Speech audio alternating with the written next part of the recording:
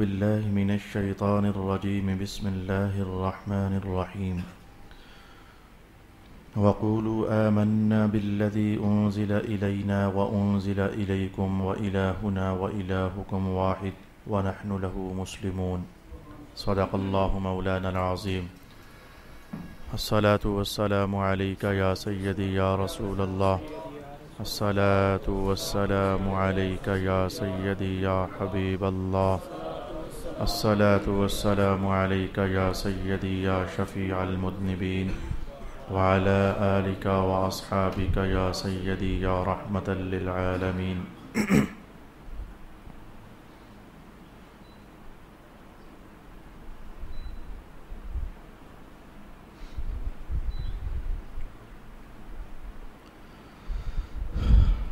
اور تم کہو ہم اس پر ایمان لائے ہیں جو ہماری طرف نازل کیا گیا اور جو تمہاری طرف نازل کیا گیا ہے۔ اور ہمارا معبود اور تمہارا معبود ایک ہی ہے۔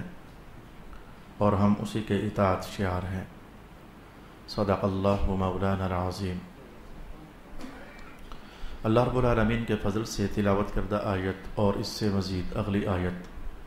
اس پر تفصیلی مضامین جو مجھے کہنے تھے میں کہہ چکا ہوں۔ آج پھر میں نے اسی آیت کو دوبارہ تلاوت کر دیا۔ آپ جانتے ہیں کہ ایک آیت میں، ایک ایک جملے میں، ایک ایک کلام میں کئی کئی کئی کئی طرح کے مضامین پوشیدہ ہوتے ہیں۔ تو آج جو میں نے پھر اس آیت کو تلاوت کیا ہے، اس کے پیچھے ایک اور کہانی ہے۔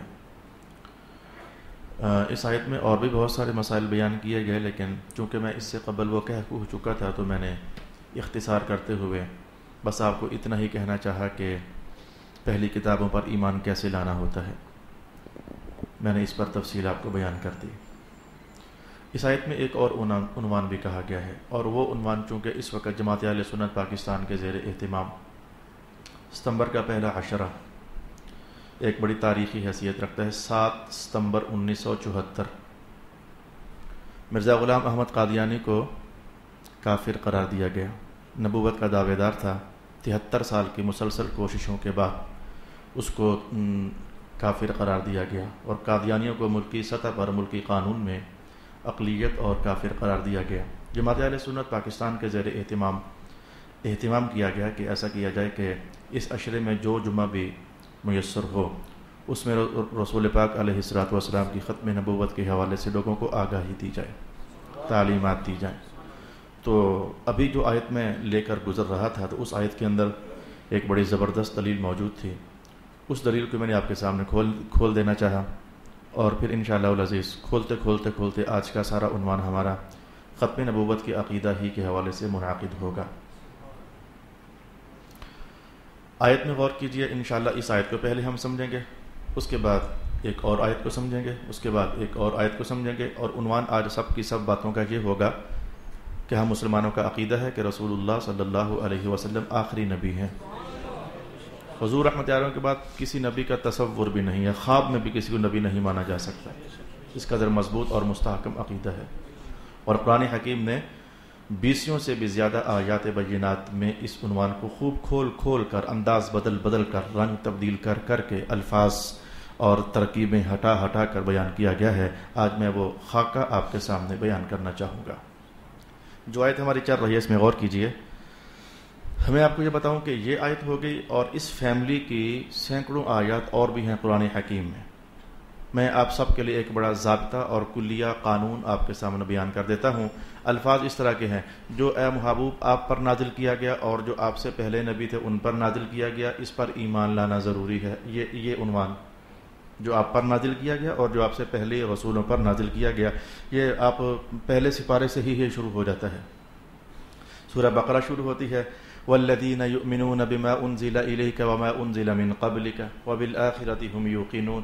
پہلے سپارے ہی سے یہ عنوان شروع ہو جاتا ہے اور چلتا رہتا ہے تیس سپاروں تک۔ جو کچھ آپ پر نازل ہوا، اس پر بھی ایمان قبول کرنا، یہ مسلمان ہوں گے۔ اور جو آپ سے پہلے نازل کیا گیا، اسے تسلیم کرنا، یہ مسلمان ہوں گے۔ ان ایسی تمام آیات جس میں یہ دو حوالے پیش کیے جاتے ہیں، ایمان لانے کے لیے ضروری ہے کہ جو آپ پر اترا، اسے بھی قبول کیا جائے۔ تسلیم کیا جائے اور جو آپ سے پہلے رسولوں پر اترا اسے بھی تسلیم کیا جائے میں تسلی سے بول رہا ہوں تاکہ قرآن پاک کی بیسیوں آیا تو ایک دم سے آپ کے ذہن میں اتر جائیں ختم نبوت کے عقیدے کے حوالے سے۔ مفسرین کرام نے یہاں یوں بحث فرما دی، جیسے کہ یہاں بھی کولو آمنا ایمان ورو تم کہو نا کہ ہم ایمان لائے ہیں۔ بلتی ان ضلع علینا اس چیز پر جو نازل ہوا ہماری طرف یعنی سرکار جو عالم علیہ السلاۃ والسلام کی ذات اقدس پر۔ ان ضلع علیکم اور اے یہودیو، عیسائیو، جو تمہاری طرف نازل ہوا یعنی تمہارے رسولوں پر جو نازل ہوا، جناب موسا علیہ السلاۃ والسلام پر اور جناب عیسیٰ علیہ السلاۃ والسلام پر۔ آئمہ تفسیر نے کہا کہ ایمان لانے کے لیے جو چیزیں ضروری تھیں، اللہ پاک نے ان کو بیان کیا۔ بہت ساری چیزیں تھیں، ان میں سے دو، تین، چار اجزاء یہاں بیان کیے گئے۔ صرف رسول اللہ علیہ السلاط والسلام پر جو کتاب اتری، اسے تسلیم کر لیا جائے، بندہ مومن نہیں ہوتا، جب تک کہ پہلی کتابوں کو بھی تسلیم نہ کر لیا جائے۔ جو آسمان سے کتابیں اتاری گئی ہیں، جب تک ان کو تسلیم نہ کر لیا جائے، اس وقت تک بندہ مومن نہیں ہوتا۔ یہ خود قرآن حکیم کا بیان ہے۔ اور یہ بات تو خود رسول اللہ علیہ السلاط والسلام بیان فرما کر گئے ہیں۔ حدیث میں پڑھنا چاہو تو حدیث جبریل پڑھی جا سکتی ہے۔ علماء کو میں نے اشارہ کر دیا۔ اور اس کے علاوہ اور بھی بہت ساری حدیثیں۔ تو بیان ضروری یہ ٹھہرا کہ ایمان تب مکمل ہوگا جب اس وہی کو بھی مانا جائے جو رسول اللہ پر اتری۔ اور حضور کے علاوہ اور بھی وہیاں ہیں جو اتری ہیں، ان کو بھی تسلیم کیا جائے۔ اگر ان کو تسلیم نہ کیا جائے تو پھر بندہ مومن نہیں ہوتا۔ اور وہ جو وہیاں اتری، حضور رحمت عالم کے علاوہ وہ کن پر اتری؟ ان سب پر جو حضور سے پہلے رسول آ چکے تھے۔ ان پر جو وہیاں اتری۔ مفسرین نے کہا کہ اگر رسول اللہ کے بعد بھی کوئی رسول ہوتا اور حضور کے بعد بھی کسی پر وہی اترنی ہوتی، تو جیسے قرآن یہ کہہ رہا ہے کہ ایمان لانے کے لیے ضروری ہے کہ محمد پاک پر جو اترا اسے مانا جائے، حضور سے پہلے جو اترا اسے مانا جائے، اگر بعد میں بھی کوئی اترنا ہوتا، کوئی وہی آنی ہوتی، کوئی کتاب آنی ہوتی، تو قرآن اس کو بھی ضرور بیان کرتا اور جو آپ کے بعد اترے گا اس پر بھی ایمان لائے۔ جیسے کہ پہلے جو اترا، اس کو حصہ بنایا گیا ہے نا، جوڑا گیا ہے۔ حضور پر جو اترا اس کو ماننا ضروری ہے اور پہلے بھی کچھ اتر چکا تھا، اس کو ساتھ بیان کیا کہ اس کو ماننا بھی ضروری ہے۔ اگر بعد میں بھی کوئی وہی آنی ہوتی، بعد میں بھی اگر کوئی نبی ہونا ہوتا، تو اللہ تعالیٰ یقیناً ایمان کے اجزاء بھلے پہلے والے ہوں، بھلے بعد والے ہوں بیان فرماتا۔ جیسے کہ پہلے سپارے کے اندر رسول اللہ کی تشریف لے جانے کے بعد کچھ اور چیزیں تھیں جو بعد میں ظاہر ہونی تھیں، ان پر ایمان لانا ضروری تھا۔ اللہ پاک نے اس کو بیان کیا ہے کہ اس کے بغیر ایمان مکمل نہیں ہوگا۔ اس کو بیان کیا ہے؟ مثلا کیا بیان کیا ہے؟ جو محبوب آپ پر اترا، جو آپ سے پہلے رسولوں پر اترا، اس کو ماننا ضروری ہے۔ وہ بل آپ جب تشریف لے جائیں گے تو آپ کے بعد پھر جو آخرت کا دن آنے والا ہے، یہ معاملہ بعد کا ہے۔ اس کو بھی ماننا ضروری ہے۔ تو جو بعد والی چیزیں ایمان کا حصہ ہیں، ان کو قرآن پاک نے بیان کر دیا۔ جو پہلے والی چیزیں ایمان کا حصہ ہے ان کو بھی قرآن پاک نے بیان کر دیا۔ فسرین کا کہیں بھی درمیان میں حضور کے بعد وہی آنے کا عنوان قرآن نے چھیڑا ہی نہیں ہے۔ اگر وہی آنی ہوتی، وہ ایمان کا حصہ ہوتی۔ اللہ تعالیٰ اس کو بھی بیان کرتا۔ جیسے کہ پہلے اور بعد والے اجزاء کو بیان کیا گیا ہے۔ بیان نہ کرنا اس بات کی دلیل ہے کہ بات وہی ہے جو رب فرما چکا ہے کہ محمد مصطفیٰ کے بعد کوئی نبی آ ہی نہیں سکتا ہے۔ یعنی ان ایسی بہت ساری آیات کے اندر میں نے لب لباب خلاص خلاصہ کلام اور قانونی حیثیت سے آپ کے سامنے بات بیان کر دی اور میں نے آپ کے سامنے یہ بات کھول کر رکھی ہے ایمان کے کچھ اجزاء ایسے ہیں جو حضور رحمت عالم سے پہلے زمانوں کے ساتھ تعلق رکھتے ہیں بہت سارے اجزاء ایسے ہیں جو خود حضور رحمت عالم کے زمانے اقدس کے ساتھ تعلق رکھتے ہیں کچھ اجزاء ایسے ہیں جو حضور کی تشریف لے جانے کے بعد والے زمانوں کے ساتھ تعلق رکھتے ہیں تو جو جو بھی ایمان کے اجزاء تھے قرآن حکیم نے بیان کیا ان کو میں نے جان بوجھ کر خلاصہ کلام آپ کے ذہن میں ڈالا ہے۔ جان بوجھ کر جو جو ایمان کے اجزاء تھے، پہلے والے تھے، سرکار کے دور والے تھے یا سرکار کے زمانے سے پہلے والے تھے، ان کو قرآن بیان کر دیا اور جس کو قرآن نے بیان نہیں کیا، سمجھ جاؤ وہ ایمان کا حصہ ہے ہی نہیں ہے۔ ان کی کوئی حقیقت ہے ہی نہیں ہے۔ اور جبکہ خاص کر کے رسول پاک علیہ السلاط والسلام جنابی عمر کو ساتھ کھڑا کریں اور کہیں کہ دیکھو، اگر میرے بعد نبی ہونا ہوتا تو اس نے ہونا تھا۔ عمر جیسی ہستی جن کو حضور فرمائے کہ اگر ہونا ہوتا نا، تو ان، انہوں نے ہونا تھا۔ یعنی ضمانت اور گارنٹی اگر ہونی تھی، تو ان کے بارے میں حضور نے دے دی نا، شہادت دے دی۔ ان میں اہلیت ہے کہ یہ نبی بن سکتے تھے۔ تو جب میرے عمر بھی میرے بعد نبی نہیں ہے، بلکہ خلیفہ ہے، تو کسی اور میں کیا دم ہے؟ کسی اور میں کیا مجال ہے؟ کسی اور میں کیا اہلیت ہے کہ وہ نبوت کا دعویٰ کرے؟ یاد رکھنا مسلمانوں بال اتفاق حنفی، شافعی، مالکی، حنبلی صوفیہ کے تمام سلاسل، میں کہتا ہوں کہ اس میں غیر مقلدین بھی شامل ہیں اور اہل ظواہر بھی شامل ہیں کہ رسول اللہ صلی اللہ علیہ وآلہ وسلم آخری نبی ہیں اور حضور کے بعد اگر کوئی نبی نبوت کا اظہار کرے تو پھر ہم اس حدیث کو سامنے رکھتے ہوئے بات کریں گے۔ کس حدیث کو؟ آئے آپ کو حدیث بتاتا ہوں۔ رسول پاک علیہ السلاۃ والسلام کہ میرے بعد سیکون بعدی ثلاثون کذاب ہے میرے بعد تیس لوگ ایسے ہوں گے جو تیسوں کے تیسوں کیا کریں گے؟ یزعمون ان ان کلہم نبی اللہ۔ ان تیسوں کے تیسوں میں سے ہر ایک یہ گمان رکھے گا کہ وہ اللہ کا نبی ہے۔ اللہ خبردار، قذابون۔ وہ تیس کے تیس جھوٹے ہوں گے۔ اللہ نبی بعدی وانا خاتم النبیین۔ میں تمہارا نبی تمہیں بتا کر جا رہا ہوں۔ میرے بعد نبی کسی نے آنا ہی نہیں ہے۔ جو بھی کہے گا میں نبی ہوں، وہ جھوٹا ہوگا۔ اور جو حضور کی ختم نبوت کا انکار کرے گا، وہ دائرہ اسلام سے خارج ہو جائے گا۔ میں آگاہی آپ کے سامنے رکھ رہا ہوں۔ ایک آیت تو یہ ہوئی جو میں نے آپ کی خدمت میں بیان کی۔ اور یہ ایک آیت نہیں ہے، یہ ایک ضابطے کے متعلق آیت ہے۔ ان ایسی بیسیوں آیات اور بھی ہیں جو قرآن حکیم میں ارشاد فرمائی گئی ہیں۔ میں ایک اور آیت کی طرف آپ کی توجہ لے جانا چاہوں گا۔ آج میں اسی ان حالانکہ مجھے یاد ہے کہ آج سے کوئی گیارہ سال پہلے میں نے سات نشستوں میں ختم نبوت کا عقیدہ بیان کیا تھا۔ گیارہ سال قبل تقریباً سات نشستوں میں مسلسل بہت بہت بہت بہت سارے دلائل بیان کیے تھے۔ میں اپنے طور پر مطمئن تھا کہ میں نے اللہ کا حکم پورا کیا ہوا ہے، لیکن پھر چونکہ ابھی جماعت کی پالیسی کے تحت اس عشرے کو سات ستمبر سات ستمبر سات ستمبر انیس سو چوہتر کو قادیانیوں کو، پاکستانی قانون کے مطابق بھی کافر قرار دیا گیا۔ مدنی قانون کے مطابق تو پہلے دن سے ہی کافر تھے۔ سرکار کے قانون کے مطابق جس دن اس نے نبوت کا دعویٰ کیا تھا، اسی دن سے کافر تھا۔ ویسے آپ کو بتاؤ اس نے نبوت کا دعویٰ کیا کب تھا؟ اٹھارہ سو چالیس میں پیدا ہوا۔ یہ جھوٹا نبی۔ اٹھارہ سو چالیس میں پیدا ہوا۔ چالیس سال مسلسل گزرے۔ پڑھا لکھا بہت تھا، بہت پڑھا لکھا تھا۔ اور انگریزوں نے ایسے، آپ کو اگر دس بارہ جمعرات کے درس پہلے سے یاد ہے، میں نے کہا تھا، انگریزوں نے بہت سارے خبیص پیدا کر کے مسلمانوں کے بھیس میں مسلمانوں کے اندر اتارے ہیں۔ بہت سارے خبیص کافر۔ پیدا کر کے مسلمانوں کی داڑیاں رکھوا کر، مسلمانوں کی کتابیں پڑھوا کر، مسلمانوں کے اندر انہوں نے انجیکٹ کیے ہیں، پھر انہوں نے جو تباہی اور فساد مچایا ہے، قیامت کو اس کی سزا خود بھگتنے والے ہیں۔ مسلمانوں نے پھر ان کا مقابلہ کیا، ان کا رد کیا اور ان کے ابتالات کو مزید مفسدات میں تبدیل کر کے لوگوں کے سامنے پیش کیا۔ اچھا اٹھارہ سو چالیس میں پیدا ہوا۔ چالیس سال مسلسل گزرے تو علم کا زور اور شور تو تھا ابھی اس نے کچھ بھی ایسا نہیں کہا تھا۔ لوگ قبول کر رہے تھے۔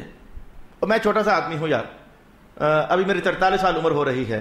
تو آپ میں سے کتنے لوگ ہیں جو حضور کی محبت کی خاطر مجھے بھی عزت دے دیتے ہو؟ کوئی ٹوٹی بوٹی میری بات بھی مان لیتے ہو؟ کسی کو کوئی بات کہہ دو تسلیم کر لیتا ہے؟ تو چالیس سال گزر گئے، چالیسویں سال سے قریب قریب اس نے اس طرح کا شور ڈالنا شروع کر دیا۔ مجھ پر کافی سارے الہامات ہوتے ہیں اللہ کی طرف سے۔ یہاں سے اس نے بنیاد قائم کرنا شروع کر دیا الہامات ہوتے ہیں۔ کچھ ولایت کے دروازے کو اس نے کھٹکھٹانا چاہا۔ ایک اجمالی ترین خاکہ آپ کے سامنے اس کافر کا رکھوں۔ چالیس سال کی عمر میں اس نے کچھ مجھ پر بڑے الہامات ہوتے ہیں۔ اس طرح کا دعویٰ کرنا شروع کر دیا۔ مزید جو اگلے دس سال تھے، ان دس سالوں کے اندر یہ اس طرح کی کہانی چھیڑتا رہا کہ محمد آخری نبی ہیں، رسول آخری نبی ہیں، ان کے سوا کوئی نبی ہو ہی نہیں سکتا۔ مسلسل دس سال یا کچھ اس طرح کی کہانی چھیڑتا رہا۔ جب اس کی عمر پچاس سال ہو گئی، چالیس میں پیدا ہوا، چالیس جمع پچاس، انیس سو نبے کی دہائی جب شروع ہوئی، تو اس نے آہستہ آہستہ یہ عقیدہ لوگوں کے سامنے کھولنا چاہا کہ یہ جو کہا جاتا ہے کہ عیسیٰ علیہ السلام دوبارہ آئیں گے، یہ عقیدہ غلط ہے، اصل صحیح عقیدہ کوئی اور ہے۔ اس نے کچھ اس طرح کی کہانی چھیڑنا چاہی انیس سو اکیانوے ہوا، اٹھارہ سو اکیانوے ہوا یعنی نوے کے بعد ایک سال کا زمانہ گزرا تو لوگوں کی ذہن سازی کرتا رہا تاکہ ذرا دروازہ کھٹکھٹایا جائے۔ سب سے پہلے اس ایک سال کے اندر اندر اس نے ایک بار تو یوں کہا وہ جو عیسیٰ علیہ السلام نے آنا تھا نا، تو میں ان کی مثل ہی ہوں، تو مجھے ان سے قریب قریب ہی سمجھو۔ پھر مزید اگلے چند مہینوں کے اندر اس نے یوں کہنا شروع کر دیا، وہ عیسیٰ میں ہی ہوں۔ پہلے اس نے ولایت کا دروازہ کھٹکھڑا کر لوگوں کو سمجھایا کہ میں کچھ شے ہوں۔ پھر اگلے چند مہینوں کے اندر ان شاء اللہ جو معلومات آپ کو دے رہا ہوں، آپ نے قادیانی قادیانی قادیانی قادیانی جملے تو سنے ہوئے ہیں، لیکن یہ چند جملوں پر خاکہ آپ کے سامنے رکھ رہا ہوں۔ چالیس اٹھارہ سو چالیس میں پیدا ہوا۔ اسی، چالیس سال مزید گزرے، اٹھارہ سو اسی ہو گئے۔ ولایت کی باتیں کرنی شروع کر دی۔ الہامات ہوتے ہیں مجھ پر۔ اور اگلے دس سالوں کے اندر اس نے لوگوں کا ایک جناب عیسیٰ علیہ السلام کے آنے والا جو عقیدہ تھا، دوبارہ تشریف لانے والا عقیدہ، اس پر اس نے ضرب کاری لگانا شروع کر دی۔ نوے ہو گئے، جو اگلا ایک سال بنتا تھا، اس کے اندر اس نے کچھ مہینوں تک یہ زور لگا کے رکھا، میں مثل عیسیٰ ہوں۔ یہ اپنے آپ کو مسیل عیسیٰ کہتا تھا مسیل مسیح کہتا تھا۔ چند مہینوں پر یہ زور لگا کے رکھا اور پھر اگلے ٹھیک چند مہینوں کے اندر اس نے یہ شور ڈالنا شروع کر دیا، میں عیسیٰ ہی ہوں۔ مسیح معود وہ میں ہی ہوں۔ یہ ڈالا، جب ٹھیک انیس، اٹھارہ سو اکانوے ہوا تو اس نے شور ڈال دیا کہ میں تو خود نبی ہوں اور نبوت کا اظہار کبھی اس نے یوں کیا کہ میں بروزی نبی ہوں. آ رہی یہ جملہ آپ کو بتاتا ہوں کیا ہوتا ہے۔ اور کبھی اس نے یوں کہنا شروع کر دیا، میں ذلی نبی ہوں. اور پھر کرتے کرتے اس نے باقاعدہ اپنے آپ کو مستقل نبوت کے دعوے دعوے میں ڈھال لیا۔ یہ میں ذلی نبی ہوں، مانا کیا تھا؟ یہ لفظ سن لو مسلمان ہوں میں ذلی نبی ہوں، ذل سایہ۔ مصطفیٰ کی نبوت کا عکس اور سایہ میرے اندر آ چکا ہے۔ میں ذلی نبی ہوں۔ لہذا اگر میں کہہ رہا ہوں کہ میں نبی ہوں، میں تھوڑا ہوں معاملہ سارا ادھر سے میرے اندر آیا ہوا ہے۔ نبی وہی ہے بس میں ان کے ماتحت نبی ہوں۔ مانیٹر اس کے سادے لفظوں کو میں مانیٹر نبی ہوں۔ ان کی نبوت کا عکس، ان کی نبوت کے کمالات اللہ نے مجھے عطا کر دیے۔ میں ذلی نبی ہوں، بروزی نبی۔ میں بروزی نبی ہوں۔ یہ اس نے ایک نئی کہانی چھیڑی۔ نئی کہانی چھیڑی۔ بروزی نبی کا معنی ہوتا ہے کہ بس یہ ذلی نبی اور بروزی نبی، یہ دونوں قریب قریب کی کہانیاں ہیں۔ یعنی محمد مصطفیٰ نبی ہے تو ہر کسی نہ کسی دور میں یہ ایک نئے سے وجود میں ظاہر ہو کر کے اپنی اسی نبوت کا اظہار دوبارہ سے دوبارہ سے دوبارہ سے کرتے رہیں گے۔ تو میں جو کہہ رہا ہوں، میں نبی ہوں یہ میں تھوڑا ہوں، میں محمد ہی ہوں۔ سمجھو کہ اس دور میں محمد مصطفیٰ صلی اللہ علیہ وآلہ وسلم کا اظہار، ان کا بروز بروز ظاہر ہونا۔ وبا رضول اللہ جمیعا قیامت والے دن سب لوگ اللہ کے سامنے ظاہر ہو جائیں گے۔ بروز، وہ مجھ میں ظاہر ہو چکے ہیں۔ کبھی کہتا ان کی نبوت کا عکس مجھ میں ظاہر ہو چکا ہے۔ عکس ظاہر ہوا؟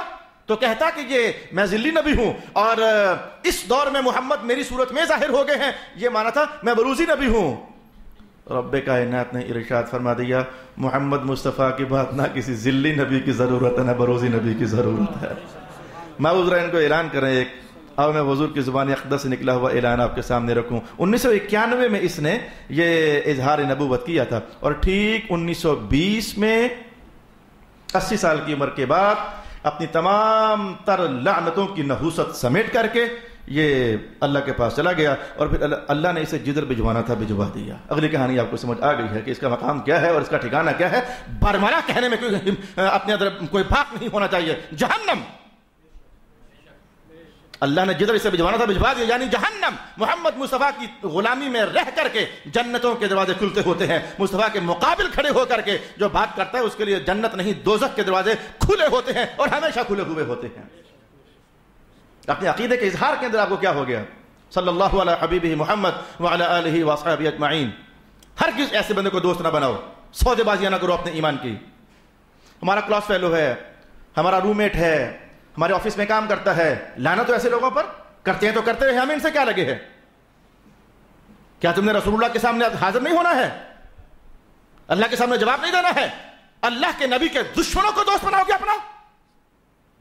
لا يتخذ المؤمنون الكافرين اولیاء من دون المؤمنین۔ ایمان والوں کا دوست ایمان والا ہوتا ہے۔ ایمان والوں کا دوست کبھی بھی کافر نہیں ہوتا ہے۔ اپنی رشتہ داریوں کو سنبھالو۔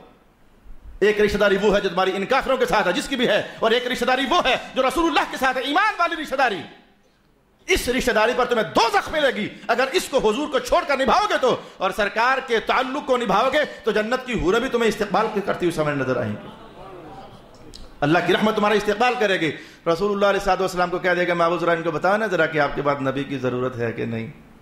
شور ڈالا ہوا ہے۔ حضور یہ سارے بندوبست پہلے ہی فرما گئے۔ رسول اللہ علیہ السلام نے ایک اعلان تو یہ کر دیا۔ الیوم اکملت لکم دینکم، دین تو میں مکمل کر کے جا رہا ہوں۔ پیچھے آئے گا کون ہے؟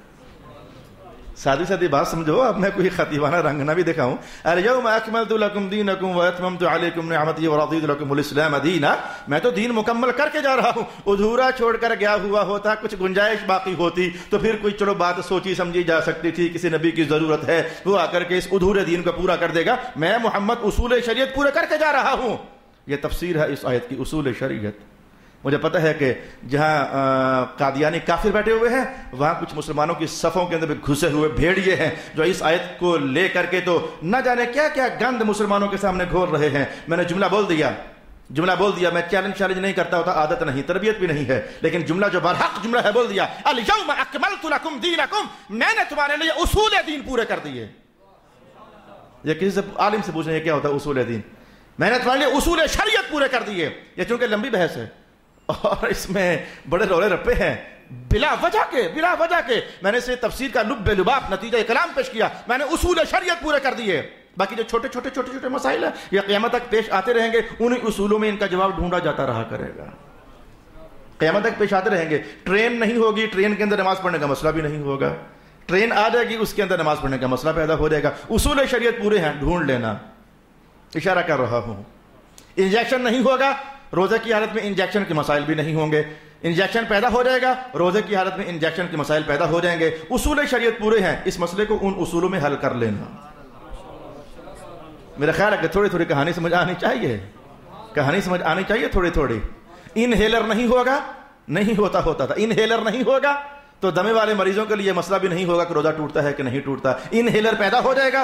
دمے والے سمجھ جانا کہ بھائی یہ روزہ ٹوٹتا ہے، اصول میں نے پورے کر دیے ہوئے ہیں۔ چلو بس بھائی عنوان میرا کوئی اور ہے۔ آیت کی لذت اٹھاتے ہیں۔ رب کا میں کہا محبوب ترین کو بتائیں۔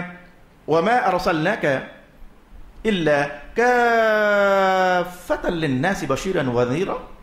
بڑا خوبصورت اعلان کروایا۔ میں تو خوشی کے مارے پاگل ہو رہا ہوں۔ اور اپنے ایمان پر خوش ہو رہا ہوں۔ اللہ کا فضل۔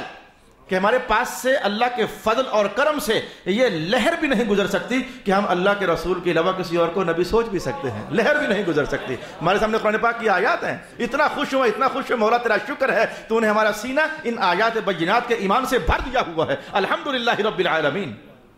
اعلان بڑا مزیدار ہے۔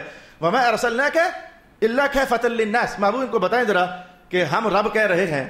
کیا کہہ رہے ہیں؟ خطاب رسول اللہ کو ہے۔ ہم رب کہہ رہے ہیں۔ لوگوں، میرے رب نے مجھے یہ کہا ہے۔ جی میرے آقا جی کیا فرمایا ہے؟ میں رب کائنات کا وما ارسلناک جو ہم نے آپ کو بھیجا ہے اللہ کا فتح للناس، جہاں جہاں جہاں جہاں جہاں جہاں جتنے بھی انسان ہیں نا، جتنے بھی ان سب کا رسول آپ کو بنا کر بھیجا ہے۔ ہم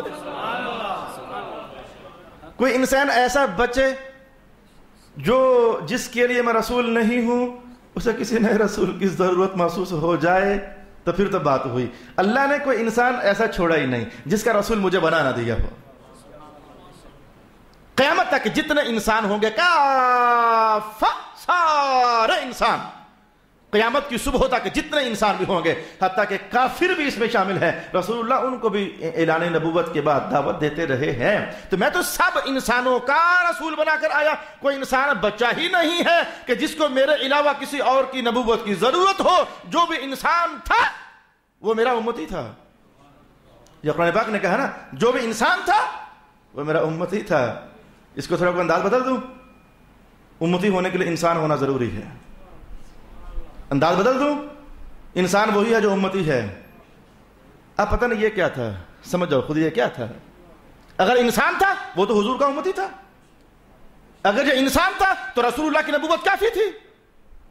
میرا خیال ہے کہ حضور نے جو وہ بات ارشاد فرمائی نا، یہ کچھ ایسا تھا۔ رسول اللہ علیہ السلام نے کچھ ارشاد فرمایا کہ، آپ نے ارشاد فرمایا کہ بہت سارے انسان ایسے ہوتے ہیں، دکھنے میں انسان ہوتے ہیں، اندر سے شیطان ہوتے ہیں۔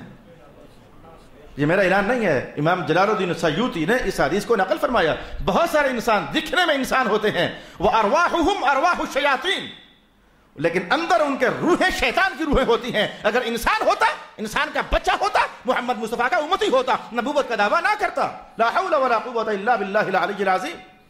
میں تو اس حدیث کے عنوان کو کیسے فراموش کروں؟ ہاتھ رکھ کر حضور رحمت عالم نے فرمایا۔ ایک اور موقع بھی تھا۔ ایک جناب عمر تھے نا؟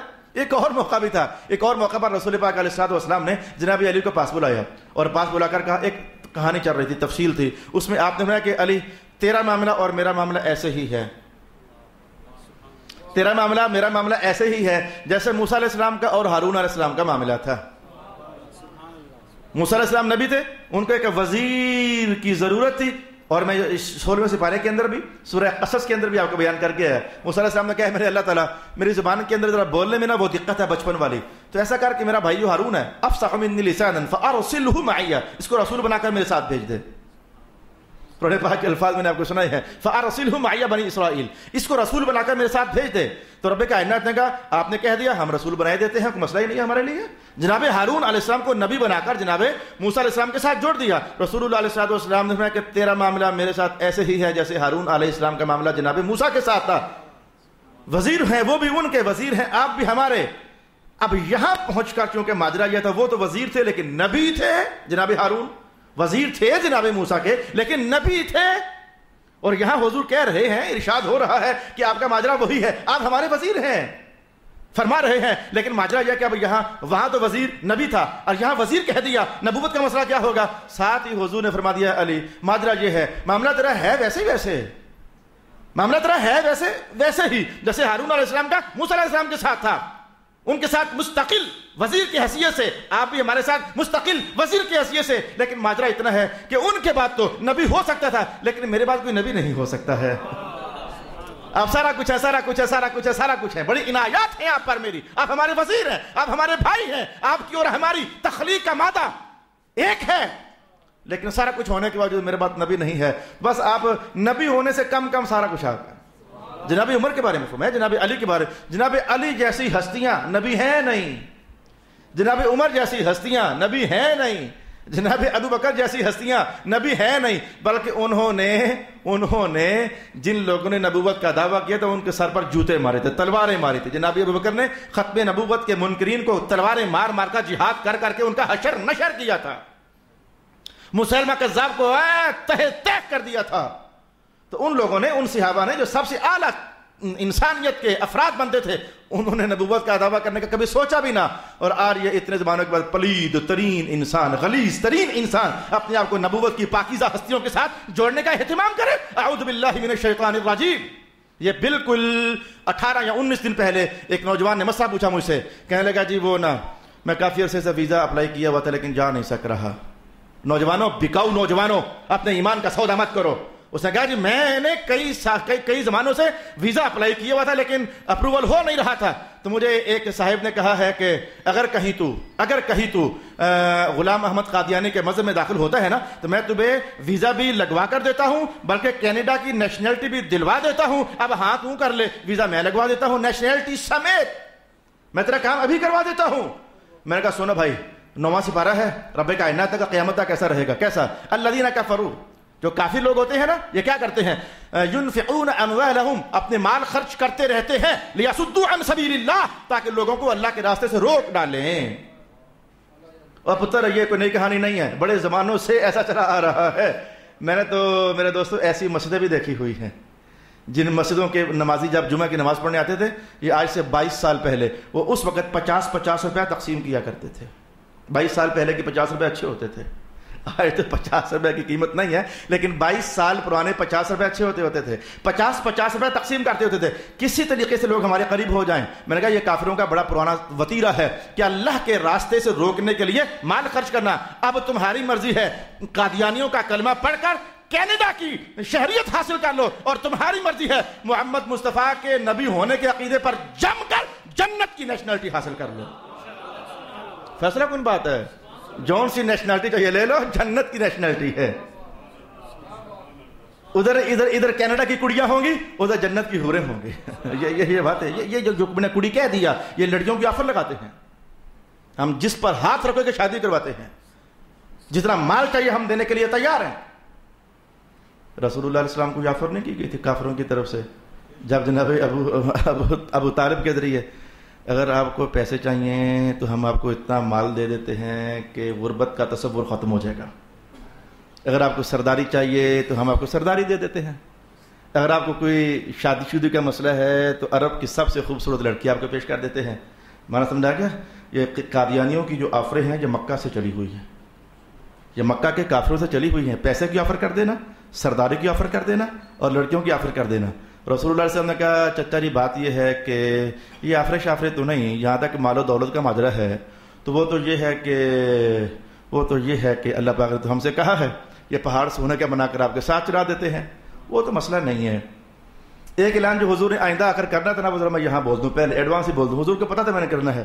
جہاں تک معاملہ سرداری کا ہے، تو چچا جی یہ اعلان حضور نے بعد میں کرنا تھا، مجھے پتا ہے۔ لیکن میں اس کا اظہار پہلے کر رہا ہوں۔ چچا جی جہاں تک معاملہ سرداری کا ہے، تو سرداری سے دوری کا بھی مسئلہ کوئی نہیں ہے۔ اللہ پاک نے جو مجھے بیٹے اور نواسی عطا کرنے ہیں، اللہ نے تو انہیں جنت کا سردار بنا دیا ہوا ہے۔ مسئلہ تو وہ بھی کوئی نہیں ہے۔ مسئلہ تو وہ بھی کوئی نہیں ہے۔ یہ اعلان بعد میں ہونا تھا، مجھے پتا ہے بعد میں ہونا تھا۔ تو چچا جی نہ سرداری کا مسئلہ ہے، نہ باقی حوروں کا مسئلہ جو ہے، وہ تو حوروں کا حال تو یہ ہے کہ رمضان کے مہینے میں وہ میرے غلاموں کے بارے میں اللہ سے ریکویسٹ کرتی رہتی ہیں۔ اے اللہ، ان کو بھیج، جلدی جلدی کر۔ ہم ان کو دیکھیں تمہاری آنکھیں ٹھنڈی ہو جائیں۔ تو حوریں قصوریں ہیں کڑیاں گڑیاں یہ کوئی مسئلہ ہی نہیں ہے۔ یہ تو میرے غلاموں کو اللہ نے وہ آوازیں دے دے کر منگوائی ہوئی ہیں۔ اصل ماجرا یہ ہے کہ میں کہتا ہوں کہ جس رب نے کائنات بنائی ہے، نام اسی کا چلنا چاہیے۔ میں تو یہ کہتا ہوں۔ ادھر لا کے رکھے چاند، ادھر لا کے رکھے ستارے اور سورج۔ میں تو پھر بھی اس دعوے سے واپس نہیں رہ سکتا۔ تو میں میں تمہیں یہ ایک احساس بتانا چاہا۔ چاہو تو گرین کارڈ نیشنلٹی جنت کی لے لو اور ویزا مدینے سے لگوا لو۔ فائنل سی بات۔ یہ کوئی خطیبانہ جملے نہیں، حقائق ہیں، حقائق۔ مہر لگاؤ رسول اللہ سے نیشنلٹی سیدھی جنت کی۔ جہاز پر بیٹھ کر نہیں جاؤ گے، فرشتے باہوں میں اٹھا کر لے کر جائیں گے۔ جہاز شہاز نہیں، وہ گر کر کریش بھی ہو جاتے ہیں۔ فرشتے باہوں میں اٹھا کر لے کر جائیں گے۔ جنت میں وہ دیکھو۔ اور چاہو اپنے ایمان کا سودا کرو، ہمیشہ کی دو سے خریدو اور چند ٹکوں کی خاطر۔ میں تو ان کروڑوں اربوں کو بھی ٹکے نہیں کہتا۔ میں تو ان کروڑوں اربوں کو بھی ٹکے بھی نہیں سمجھتا ہوں۔ اس لیے کہ ہمیں خواجہ میرے علی شاہ صاحب کی جملے یاد ہیں۔ سب کھوٹیاں تھی سنتا دکھ رہی ہیں۔ ہمیں وہ جملے یاد ہیں۔ ہمیں وہ جملے یاد ہیں۔ اللہ اکبر اللہ اکبر، ہمیں خواجہ گورڈا کی یہ کہانیاں یاد ہیں۔ سب کھوٹیاں تھی سنتا دکھ رہی ہیں صلی اللہ علیہ حبیب محمد وعلی آلہ وصحبہ اجمعین۔ اچھا میرے بھائیو، میں نے آپ کے بس تھوڑا سا بتایا ہے۔ میں ایک اور اعلان کرتا ہوں، مٹھ سے ہو کر گھر جاتے ہیں۔ ویسے میرا موڈ بن گیا نا کبھی، تو ایک بار پھر آپ کو دہرائی کروا دوں گا۔ کوئی بات نہیں، اللہ تعالیٰ بھی قرآن پاک میں دہرائیاں کرواتا رہتا ہے۔ نماز کا حکم، وہ کتنی سو بار ارشاد کر دیا تاکہ تو بار بار دہرائی کروائے گل پکی ہو جاوے۔ پھر آپ کو یاد کروا دوں گا۔ آج کی دستک دینا بھی کافی ہونا چاہیے۔ لیکن بس اللہ تعالیٰ جس وقت جس وقت میرے لیے توفیق کا دروازہ کھول دے گا، جیسے آج کھولا ہے، اصل میں اتنے رش میں پھنسا ہوا ہوں، اتنے سارے عنوانات ہیں اور ادھر سے درس قرآن لمبا ہوتے ہوتے آج ستارواں ستارواں سال شروع ہونے کو ہے۔ تو بس وہ میں کہتا ہوں، ایک بار بناس ہو رہا ہے، اس کے بعد جو میرے ذمے اور بڑے قرضے ہیں اتارنے کی کوشش کروں۔ تو میں نے کہا کہ ایک اور اعلان کرتا ہوں، رب کا رب کائنات نے حضور پاک کو یہ جملہ ارشاد کر دیا۔ ان کو ذرا اعلان کریں، محبوب ایک اور۔ قول محبوب ذرا اعلان کر دیجیے، کیا؟ یا یوحنا یا ایوہ الذین آمنو نہیں۔ میں نے آپ کو تفسیر بتائی ہوئی ہے۔ یا ایوہ الذین آمنو، قرآن کے الفاظ ہو تو مانا ہوتا ہے صرف ہے مسلمانوں میرے گل سنو۔ اور یا ایوہ الناس ہو، تو مانا ہوتا ہے سب انسانوں، میری بات سنو۔ جس میں مسلمان بھی ہیں، کافر بھی ہیں، جو پیدا ہو گئے وہ بھی ہیں، جو آئندہ پیدا ہو گئے وہ بھی ہیں۔ سب انسانوں، بات سنو۔ جی کیا بات ہے جی؟ روح روح متوجہ ہوئی ہوتی ہیں۔ نبی آواز سے تو روح متوجہ ہوتی ہیں۔ دلیل دو قرآن سے۔ حدیث سے دلیل دے دوں۔ خانہ کا تعمیر ہو گیا۔ ابراہیم علیہ السلام نے کہا، مولا، گھر بن گیا۔ میں ابراہیم، پیارے آواز دو لوگوں کو آئیں پھر۔ کہا، مولا، ہے کیوں نہیں؟ کہا، آواز آپ دے دے پوچھا ہم دیں گے۔ وَعَذِّمْ فِي النَّاسِ بِالْحَجِّ يَعْتُوكَ رِجَالًا وَعَلَى كُلِّ ضَامِرْ يَعْتِينَ مِنْ كُلِّ فَجٍ عَمِيقٍ۔ آواز آپ دے دے پوچھا ہم دیں گے۔ روحوں تک اللہ نے آواز پہنچا دی۔ اور تب جس جس روح نے کہہ دیا، لبیک۔ اور جتنی بار کہہ دیا، لبیک، اتنی بار حرم ضرور جائے گی۔ نبی کی آواز انسانوں تک پہنچانا یا اللہ کی رحمت ہوتی ہے؟ کہا ابو اعلان کر دیں۔ جیسے کہ میں رک کر کہتا ہوں، ایسا ہوا نہیں ہے، ایسا حضور نے پوچھا نہیں تھا، لیکن یہ تاریخ ہمارے سامنے ہے۔ جیسے کہ میرے اللہ تعالیٰ، انسان تو تھوڑے سے ہیں سامنے، اعلان سب کے لیے کر دوں۔ جمیعا سب کے لیے کر دوں۔ کہا، آواز آپ دے دے پہنچا، ہم خود ہی دیں گے۔ اللہ کے فضل سے جب حضور نے یہ اعلان کیا تھا، ہماری روحوں نے سنا تھا، تو ادھر ہی اللہ کے فضل سے کہہ دیا تھا، یا رسول اللہ، آپ کے سوا کسی اور کو ہم خاتم النبیین تسلیم نہیں کریں گے۔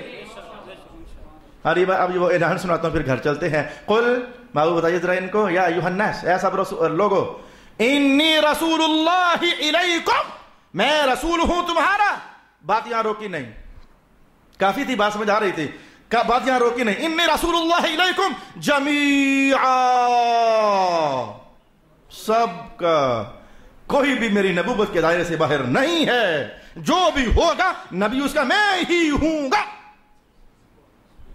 قرآن پاک کا معنی بات ہے، جو بھی انسان ہوگا، نبی اس کا میں ہی ہوں گا۔ بالکل بالکل کھرا تجربہ میں نے کر دیا۔ میں اس کا رسول ہوں، نہیں، میں ہی اس کا نبی ہوں گا۔ تاکیدیں بھری ہوئی ہیں قرآن پاک میں۔ انی، لفظ قل، خود تاکید ہے۔ ان پھر تاکید ہے۔ جملہ اس میں خبریہ خود تاکید ہے۔ انی رسول اللہ علیکم جمیعا یہ جمیعا پھر تاکید ہے ایک آیت میں کتنی تاکیدیں آ گئی ہیں جس کا کھرا کھرا ترجمہ یہی ہے تم سب انسانوں کا رسول میں ہی ہوں اور بس میرے سوا کوئی اور رسول نہیں ہے جو تمہارا رسول لگے تمہارا رسول لگنے کے لیے میں کافی ہوں میرے سوا کسی اور کی ضرورت ہی نہیں ہے اور اپنی ضرورتوں کو ایسے گنجا نہ کرو کون سی ایسی ضرورت ہے جس کی تکمیل دربار مصطفیٰ سے پوری نہیں ہوتی کون سا نور کا ایسا گھوشہ ہے جو سرکار کے دربار سے میسر نہیں ہوتا؟ کون سی رحمت کی ایسی گھٹا ہے جو حضور عطا نہیں کرتے؟ کون سی کرم کی ایسی برکھا ہے جو محمد مصطفیٰ کے وجود اقدس سے میسر نہیں ہوتی؟ انی رسول اللہ علیکم جمیعا۔ اور پھر جو جو جو جو جو جو ہو، ہماری نبوت کو تسلیم کرے گا۔ چلو لگی ہے تو باقی بھی سنو۔ وما رسولنا کا اللہ رحمت للعالمین ہم نبی بھی سب کے ہوتے ہیں، رحمت بھی ہماری سب کے لیے ہوتی ہے۔ پھر جو خاص کر کے ایمان جانے والے بھی ہوتے ہیں، ان کے لیے ذرا کچھ خاص ہی ہوتی ہے۔ وہ تو پھر اگلی کہانی ہے، پھر اگلے دلائل ہیں۔ لو، آج میں نے آپ کے لیے ایک بار پھر، کیونکہ میری آیت وہ پتہ نہیں کیسا اتفاق ہوا۔ اللہ پاک نے جو آیت ستمبر ہی میں گزروا رہا ہے میری زبان سے۔ جس آیت میں باقاعدہ دلیل پڑی ہوئی تھی، تو ستمبر ہی کے پہلے پہلے دنوں کے اندر یہ میری زبان سے وہ آیت نکل رہی تھی، تو ادھر سے اعلان بھی ہوگا جماعت علیہ سنت کی طرف سے۔ میں نے اپنا غلامی کی خدمت کا حق نبھانے کی کوشش کی ہے۔ حق ہم کبھی بھی نہیں نبھا سکتے ہیں۔ حضور کے ہم پر بے شمار احسانات ہیں، بے شمار احسانات ہیں۔ نوکریوں میں سے ایک نوکری میں نے پیش کی ہے، جس کا خلاصہ یہ ہے کہ رسول اللہ کے بعد کسی نبی کی گنجائش ہی نہیں ہے۔ سوچنا ہی نہ۔ خواب بھی نہ دیکھنا، خواب میں بھی کسی اور کو نبی تسلیم نہیں کرنا۔ حتیٰ کہ فقہا نے کہا، ایک بندہ کہتا ہے، میں نبی ہوں۔ تو آگے سے تم نے اگر اتنا کہہ دیا، دلیل لا، کافر ہو جاؤ گے۔ دلیل تک نہیں مانگنی ایسے غلیظوں سے۔ دلیل مانگنے سے بھی پہلے پہلے تم نے گویا کہ یوں کہنا ہے، ہم بغیر دلیل کے تجھے کافر ماننے کے لیے تیار ہے اور محمد مصطفیٰ کو آخری نبی ماننے کے لیے تیار ہے ایسے اسے تو دلیل بھی نہیں مانگنی ہوتی، جو ان سے دلیل مانگے وہ بھی کافر۔ دائر اسلام سے خارج۔ دلیل مانگنے کا معنی اس کے دعوے کی طرف کچھ توجہ تو کی ہے نا؟ اگر دلیل ثابت ہوگی چلو مان جاؤں گا، کچھ ایسا ماحول بنایا تو ہے نا اس نے؟ ان سے دلیل بھی نہیں مانگی جا سکتی ہے۔ اعوذ باللہ من الشیطان الرجیم۔ وآخر دعوانا الحمد للہ رب العالمین۔